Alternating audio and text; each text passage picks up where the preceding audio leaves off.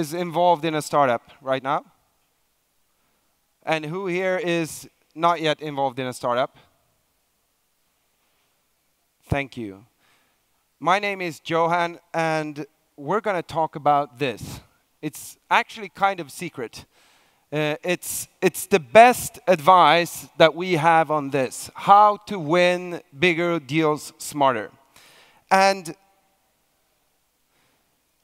I'd like to start with thanking you guys because anyone in here have a lot of things to do? Not too many.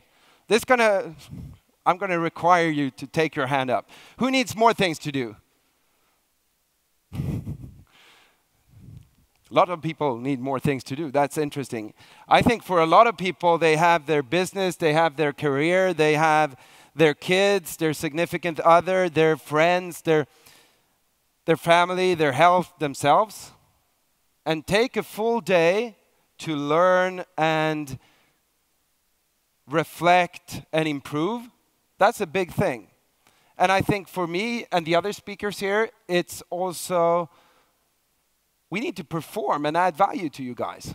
And I promise that you will have two things out of these 25, 30 minutes. The first thing is I know that you have some kind of treasure that you're looking for, the treasure cross where the treasure is, right? And some of you are doing great. Who's doing great here in their business, in their. Not too many. I'm not going to ask you to raise the other hand. So the thing is, if you're doing great right now, you will bump into challenges. If you have challenges right now, things will turn out great. But one thing that I will give you is a stronger drive to reach that cross, to find that treasure. This, the second thing is that you will get one, two, three, four, five actionable strategies that you can use tomorrow in your business. And if you're not in a business, who's in a job? You can use them in your job as well to kick ass. So you're, it's going to be good. And before I begin, is it okay that I share a few words about myself, about my background? Thank you. My name is Johan, and I grew up outside Nacka in Stockholm. I'm an entrepreneur. I've kind of failed twice with two businesses that didn't take off. Uh, and I had kind of a very happy childhood. My childhood was amazing up to my first day in school, where uh, I started. I, I, guess I was a little bit unlucky, and um, it started out with one bad day, it ended up with me starting to think, ask a question. Who has an inner voice in their head? My, mine said, What's wrong with you? What's wrong with you? Over and over again. Uh, and this, this went on, and the voice over the years, over one, two, three, four, five, six, seven, eight years, it just got stronger and stronger. And I had uh, it started saying different things. What's the point of life? Is there a point of life? Uh, and fortunately, I didn't kill myself. Uh, and welcome to this happy start, by the way. but instead, I had enough. Anyone in here ever had enough? That you quit, you broke up with someone, you fired someone, Who's never had enough? A bunch of people, only half the room is saying yes. And I really had enough. I was fed up. And I became really, really driven. The, the problem was that I was driven by the certainty that I was good enough, by the status, by the emotional drive to have significance, and outside, fairly quickly, I had what many people would call success. But inside, I felt I was dying inside. Uh, And a lot of entrepreneurs that I've learned to know over the years have had the same problem. They have this amazing success over here, but in reality, they feel like shit. Uh, and that's not very good, is it? So I had enough yet again, and then I thought, wouldn't it be much better to instead of feeling like that, still have the hunger, the drive, and everything, but to be happy? And as uh, the American guru Tony Robbins would say, happily achieve instead of achieve to be happy. Who thinks that's a better idea? You have to involve your hands in this presentation, guys. So, this will soon be the only time for the presentation to have real audience participation. So, we will go through a bunch of things here quickly. If you're in B2B and B2C, most of these things will be applicable. We entered the buying journey too late. We reached the wrong type of clients. We reached too few decision makers. We lack sales and marketing integration. And we have no perceived competitive edge. We have too small deals or the wrong deals, and we don't succeed with our cross selling and upselling. And this might be your struggle, it might not be. What I want you to, in a moment, give the person beside you a high five and discuss for three minutes while we have a song. What's in a moment? but that's going to be the song. So, discuss what do you want? What's your definition of winning? What's your definition of success? And what's your struggles? What's your definition of success? What's your struggles? And now we can have a high five to your neighbor and we can have the song. So, the thing is, the challenges that you mentioned, was it, it's nice to talk, isn't it? To share your, your goals and to share your, your struggles as well. The thing is, with your challenges that you probably mentioned, most of them won't be the real problem. They will be the symptom. And the, the problem is that you haven't found what we call the five shifts. That is what this presentation is really about. And now we're going to be, we have exactly around 15 minutes, so we're going to be fairly quickly here. Once you master them, you will drastically increase the size of your average client.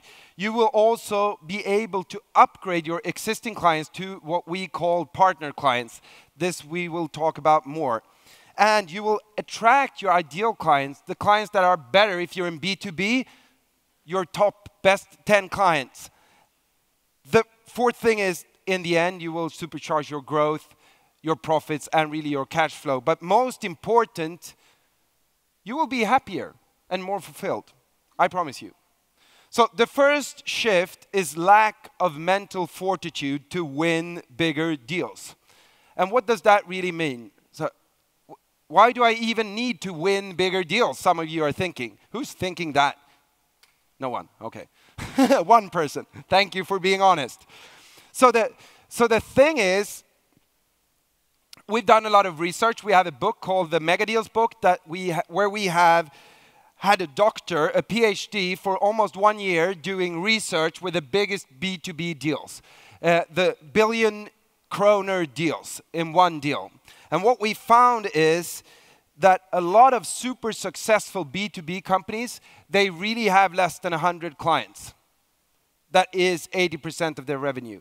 And a company that you all would know, one of Europe's most successful B2B company, they have 20 billion euros in revenue. 20 billion euros in revenue. What's interesting is they have 20 clients that bring home 16 of those 20 billion.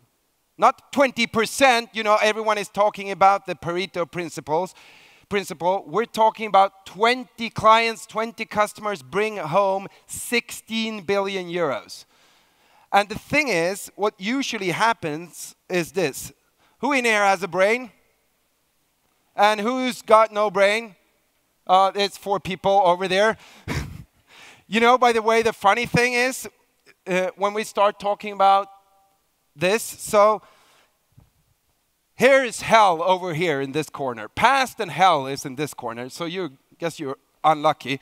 And over here, you have the future and the heaven, right? So, what do you guys think is the strongest drive? The heaven, what we want towards? Who thinks that's the strongest drive? Okay, about half the room. Who thinks the pain or the hell is the strongest drive? Yeah, half the room and one third of the room not answering.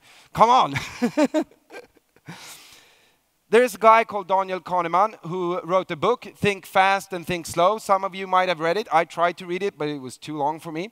Uh, he proved, he also won the Nobel Prize, he proved that we go two point times more away from what we don't want rather than towards what we do want. And the challenge with that is because everyone talks about why in business, right? You need to have a strong why. But what, what the hell is a why?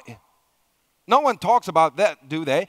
Well, the why is the heaven over here and the hell over there. And the last presentation, and I guess a lot of people talk about Elon Musk. You think he has a strong why? You think he has a strong heaven he moves towards and also a strong hell. And what happens and what entrepreneur, entrepreneurs do wrong is that they really don't fix a big enough why to their entire business. That's the problem. And what's also a problem is what we call chosen truths. Number one, who in here has a job? Okay, who in here has a career? And who in here has a mission? Yeah? It feels different, doesn't it? Mission. Do you think Elon Musk has a job or a mission? Mission, of course. And the thing is, by training your mental fortitude towards winning bigger deals or towards general success or health, you will come a long way in life. You will need a few things. Number one, you need powerful rituals. Number two, you need a strong, really good peer group. Number three is that you need world class strategies and methods. And the thing that happened for me is I changed this and I got this off the internet and I executed this. So this doesn't matter and this really doesn't matter if you don't have this because if you don't that who's ever heard oh you can't do that? Oh, do you have to work so much? Do you have to have these big ideas? I mean, come on and the people push you down. That's not a good peer group. You have to lose that peer group. The second shift is you fail to fire the clients that are not a fit. And anyone read the book called The Pumpkin Plan? No one. It's a good book. You should read it. And I'm going to summarize the book in 30 seconds. There are three types of clients great clients, bad clients, and clients that are not clients. And what people do wrong is that they don't. So here is your best clients over here. Here's your worst clients over here. What do people do? They focus evenly over this entire thing. And what you need to do instead is saying, okay, even if you're in B2B or B2C, doesn't matter. Who's my partner client or ideal client and put all your resources here. That's why this European company have 16 billion from 20 clients. And you know what? It's not in their yearly report. It's not in their communication to their shareholders because people would be what? Scared shitless about them losing their clients. But this is done over and over and over again. We'll come back to this. The third shift is, and I know that we're going fast, your business has not enough recurring revenue that was a big thing for me. My two first businesses had no recurring revenue, and some of you guys will probably be in software companies. You say, okay, of course, I have recurring revenue. But if you don't have a way to have really good recurring revenue, you're, it's, it's not going to work. And it's like this. One of the fundamentals of business is to have a business model that creates a strong recurring revenue stream. If you cannot provide what your partner client perceive as value on a regular basis, it's not going to be it's not going to work. And if you're in B2C, you might call it ideal client. And what we call the partner client philosophy is first to protect and nurture your most important clients. The second is to upgrade smaller accounts, smaller clients to partner clients. And the third thing is finding new clients, but only the really best clients. And you say, I'm a startup, I don't have clients. Well, guess what? Then you have to you have to do this. You have to start here. But if you have revenue, most companies Warren Buffett once said, I think it's a great quote, the difference between successful people and very successful people is that very successful people say no to almost everything. That's very good advice. The fourth shift is that you avoid getting really good world class mentorship. And boy, was that a big thing for me. That was, I would say, probably the main reason why my two first businesses didn't fly. Because it's like this what got you here won't get you there. If you're here now, you remember that this is the bad corner over here. It's just because our brain works that way. It's not me invented it. And you're here where you want to be. What you want to what you want to do is you want to have someone that has been seen the movie before. Because the thing we talked about, because the peer group thing, that people pressure you down. What do entrepreneurs do and what do leaders do? They say, I can do it. Everyone has said, You can't. You say, I can do it. And then you make the impossible possible. And what happens when you make the impossible possible is what? You create the belief that you shouldn't listen to people. And that's the problem. So find people that, and this is a great place with people that has done this before. They know the two millimeter differences. They know the difference that makes the difference. And you know what? Business has a life cycle just like you. And I learned this from my, my mentor, Keith. And the first problem you will bump into is that you, and this is a simplification, I know, you need traction. The second thing is you get traction and you're doing everything by yourself, so you get exhausted. So you say, okay, I need to delegate. But when you delegate, you really don't delegate, so you abdicate. So then you say, okay, I need control, but when you get the problem of control, you get red tape. Anyone been uh, trying to negotiate something with airline personnel? Anyone ever had any luck? Ah, one person. It's this this is the problem when you get too much red tape and then you get entitlement and then you die. So, but you need someone that's been through this in your industry that knows what you're going through and not a person that's okay, a person that's world class. The fifth shift is your sales and marketing process is outdated. And we come back to this. The first thing people do wrong is that they spread, we have something called a clutter factor. We get bombarded with messages everywhere.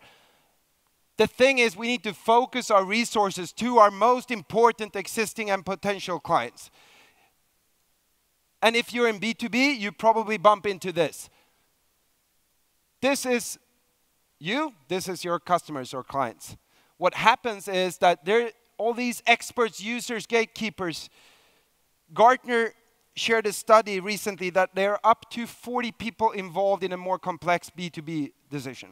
40 people. And do you know who those 40 people are? You need to know.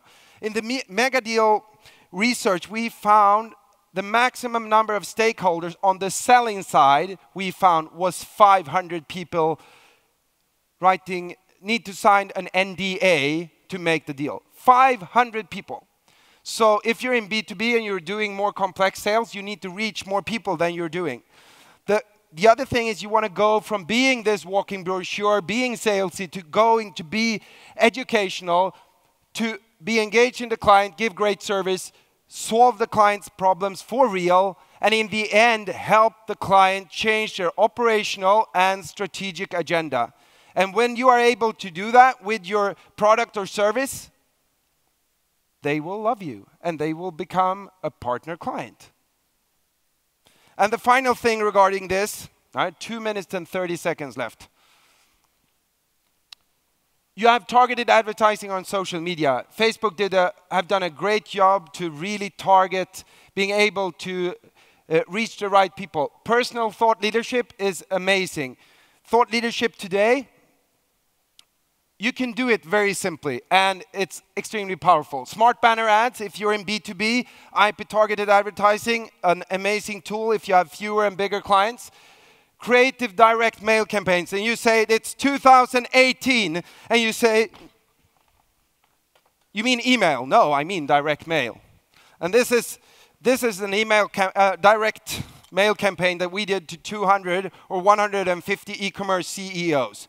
Uh, before this hot summer in Stockholm. It says it's not smooth to burn a profit of 5 to 8%. Uh, and this can be a, a direct mail piece not a postcard.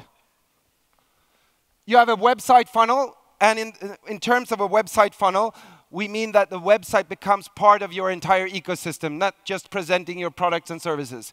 PR and influencers. Influencers in B2B is becoming a really big thing. LinkedIn right now is booming we have 200,000 views on Swedish for me and my colleague Christina on our personal uh, LinkedIn profile, the, not our views on our profiles, but our reach every month. No paid advertising. Marketing automation and automated webinars, and at the end you have events, roundtables, etc. This is your playground.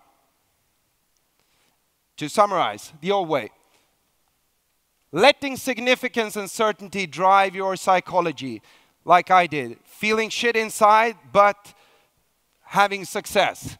Not caring enough about getting your business model right. Not having the right recurring revenue. Doing everything by yourself because you have all the knowledge instead of building a high performance team. Lack of understanding that your business really only need 100 clients to win. And spray and pray marketing. The new way is psychology mindset. Do you have the emotional fortitude that's needed to take your business and your life to the next state?